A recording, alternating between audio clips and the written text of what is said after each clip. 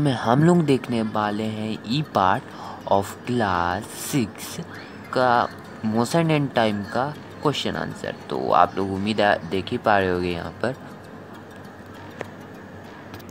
ये इस chapter six motion and time का है। ई पार्ट डी पार्ट मैंने अपने चैनल पर डाल रखा आप चाहे तो मेरे चैनल पर वो वीडियो जाके देख सकते हैं। तो यहाँ पर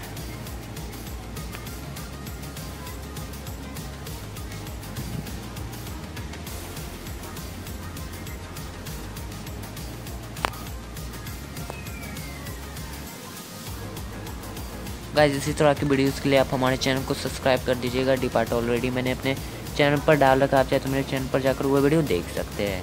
एंड इसी तरह के आगे आने वाले वीडियोज़ के लिए अभी के अभी हमारे चैनल को सब्सक्राइब कर दीजिए और बेल आइकन को कर दीजिए। प्रेस तो चलो फिर मिलते हैं अगली वीडियो में। तब तक के लिए नमस्कार। Bye bye